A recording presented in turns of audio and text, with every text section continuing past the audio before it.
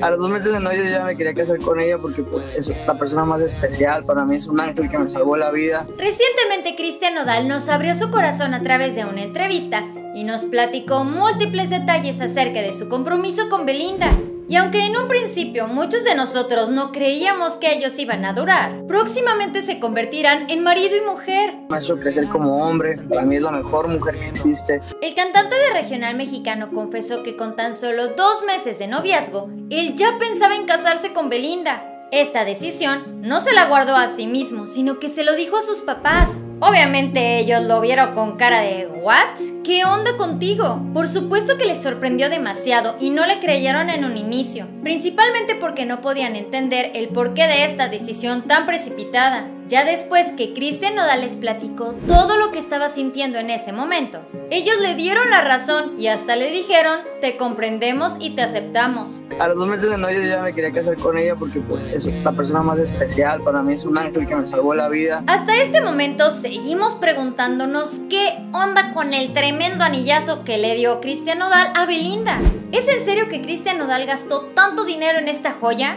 Cuando se le preguntó a Cristian Nodal sobre este tema, él afirmó que no le pidió ayuda a nadie ya que él es un fanático de la joyería y quiso darle lo mejor de lo mejor a su próxima esposa, por lo cual decidió comprarle esta pieza tan especial a Belinda afirmando que él deseaba que cuando Belinda la viera en todo momento se sintiera como una reina. Probablemente ni la reina Isabel tiene un anillo como este.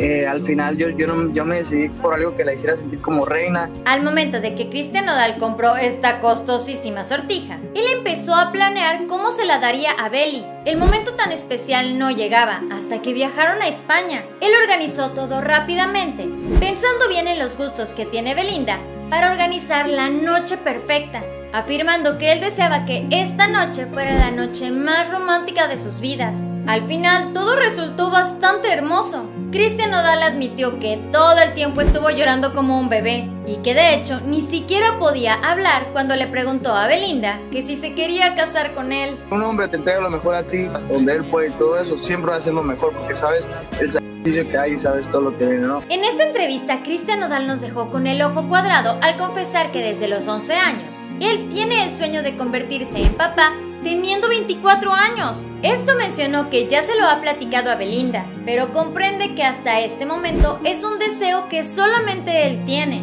Pero lo malo fue que él no reveló cuál fue la respuesta de Belinda. ¿Crees que ella se haya negado? ¿Crees que le haya dicho, oye, espérate tantito, no vayamos tan rápido?